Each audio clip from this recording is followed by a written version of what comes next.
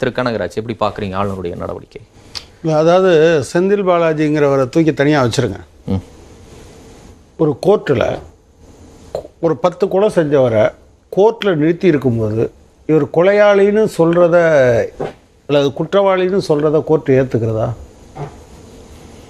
தீர்ப்பு வர்றதுக்கு முன்னால் குற்றம் சாட்டப்பட்டவர் என்பதற்கு மேலே சொல்கிறதில்ல இது எல்லாத்தையுமே ஜென்ரலாக தான் பேசுகிறேன் அவர் செந்தில் பாலாஜி முழுக்க முழுக்க தப்பு தான் பண்ணியிருக்காரு. ரொம்ப ரொம்ப மோசமான ஆள். அவர் இருந்தால் இந்த அரசாங்கமே கெட்டு போகும். இது எல்லாத்தையும் நீங்கள் வச்சுக்கோங்க.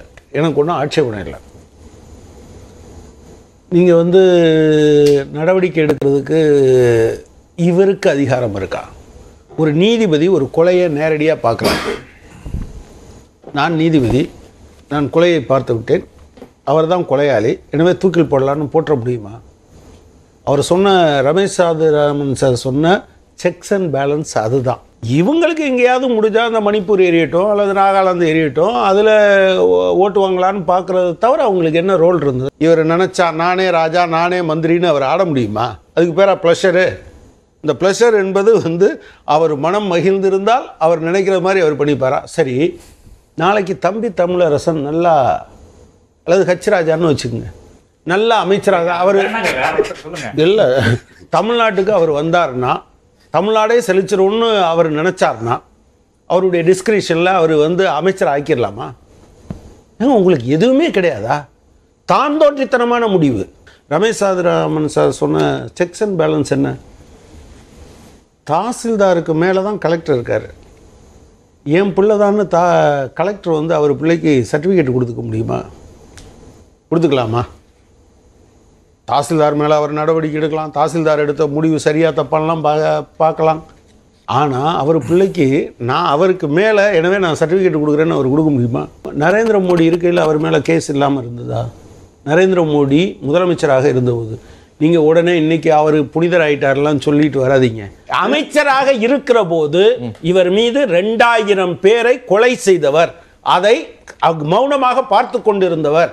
தன்னுடைய அரசமைப்பு சட்டத்தின் படியான கடமையை நிறைவேற்ற தவறியவர் நரேந்திர மோடி என்கிற விஷயம் இருந்ததா இல்லையா? அப்புறம் தீர்ப்பு வந்துருச்சுல்ல சார். ஆ அதைத்தான் சார் சொல்கிறேன் தீர்ப்பு வரட்டும். செந்தில் பாலாஜியை தூக்கில் போடுங்க. அன்னைக்கு நீங்க நரேந்திர மோடிக்கு இதையா நீங்க பண்ணீங்க? அவங்களுக்கு அரசமைப்பு சட்டத்தின் மீது ஒரு மரியாதை இருந்தது. நீங்க செக்குன்னு தெரியாத சிவலிங்கமும் தெரியாத ஒருத்தர் இருந்தார்னா எங்க வேணாலும் காலை தூக்குவார். நான் என்ன சொல்றேன்னா நான் இப்பவும் சொல்றேன். செந்தில் பாலாஜி தவறுகளை நீதிமன்றத்தில் நிறுத்தி அவரை தூக்கில் போடுங்க எனக்கு ஆட்சேபனை இல்லை. ஆனால் நான் நீதிபதி என்று சொல்வதற்கு ஆர் என் ரவிக்கு எந்த அருகதையும் கிடையாது.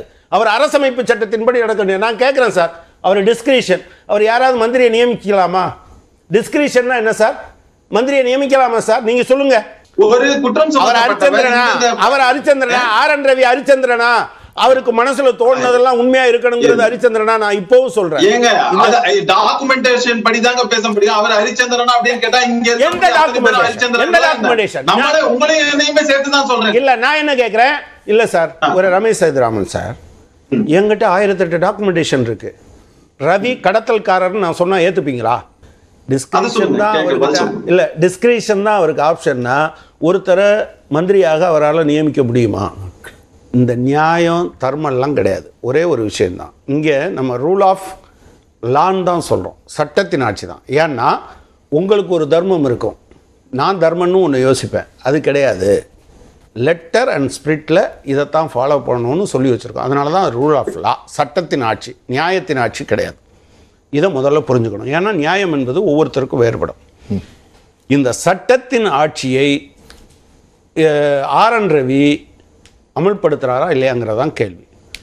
இப்போ இதே மாதிரி இப்போ அவர் கேட்டார் ஸ்பீக்கர் இப்படி பண்ணால் என்னன்னு? மதிக்கிறது இல்லைன்னு முடிவெடுத்துடலாம் சார். நீங்கள் நினைக்கிறது மாதிரி ஓ நான் முரட்டுத்தனமாக தான் டீல் பண்ணுவேன்னு முடிவெடுத்தா முரட்டுத்தனமாக உங்களுக்கு எந்த ஃபெசிலிட்டியும் தர முடியாதுன்னு முடிவெடுக்க முடியும். இது நரேந்திர மோடி. ஒரு நிமிஷம் ஒரு நிமிஷம் நீங்கள் பேசுகிற போதெல்லாம் நான் கேட்டுக்கிட்டே இருக்கேன். நரேந்திர மோடி வகையரா இந்தியா துண்டாடினாலும் பரவாயில்ல எனக்கு அதை பற்றி கவலைப்படலைன்னு நினைக்குது. அதனுடைய விவகாரம் இது. நீங்கள் மணிப்பூரை பற்றி நான் ஒருபோதும் பேசாத ஒருத்தர் பிரைம் மினிஸ்டராக இருந்தால் நான் அவரை பற்றி சார் அதுக்கு ஒரு ஆயிரத்தெட்டு காரணம் இருக்குது சார். ஆனால் அந்த ஊரில் காலடி வச்ச ஒரு மனுஷனை நீ இந்த ஊருக்கு வரக்கூடாதுன்னு சொல்ல முடியும். இது உங்கள் நியாயம். என் நியாயம் அது கிடையாது. ஒரு பிரதமர் ரெண்டு மாதமாக வாய் ஒருத்தர் பேசியிருக்கார். ஏன் பிரதமர் வாய் திறந்தால் சரியாயிருமா? அதனாலையும் சரியாகாதுன்னா அவர் ரிசைன் பண்ணிட்டு தான் போகணும். ஒன்றத்துக்கு லாயக்கு இல்லைன்னு அர்த்தம். எனவே நான் சொல்ல வரும்போது ஆர் என் ரவி கடுமையான விமர்சனத்தை சொல்றீங்க. கடுமையான விமர்சனம் தான். இல்ல இல்ல வைக்கட்டும் தவறு இல்லையே கடுமையான இல்ல, வைக்கட்டும், சார், தவறு சார், சார், ஒரு நிமிஷம் ஒரு நிமிஷம் ஒரு நிமிஷம். கடுமையான நடவடிக்கைகள் தவறுகளுக்கு கடுமையான விமர்சனத்தை தான் வைக்க முடியும். மயிலரகால தடவி கொடுப்பாங்களா? பாலகோபால் விஷயத்தை கூட நாங்க முடியாதுன்னு சொன்னதை நான் அப்ப கூட சொல்லல. என் டைம் வரும்னு பார்த்தேன். ஏன்னா எனக்கு தெரியும் நியாயம் மட்டும்தானே ஜெயிக்கும். ஏன் இந்த பதட்டம்? எனவே நீங்கள் வந்து செந்தில் பாலாஜியை கோர்ட்டில் நிறுத்தி தூக்கில் போடுங்க எனக்கு ஆட்சேபணம் கிடையாது. ஆனால் கோர்ட்டுக்கு வெளியே பேசுவதற்கு நீதிபதிக்கு கூட உரிமை கிடையாது. அதை நம்ம அரசமைப்பு சட்டம் அனுமதிக்கலை. அதை கவனத்தில் வச்சுக்கிட்டு பேசுங்க. தான் தோன்றித்தனமான ஒரு ஆட்சியை கட்டவிழ்த்து விட்டு இருக்கிறார்கள் இது இந்தியாவினுடைய ஒற்றுமையை பாதிக்கும். நான் மிக சீரியஸாக சொல்கிறேன்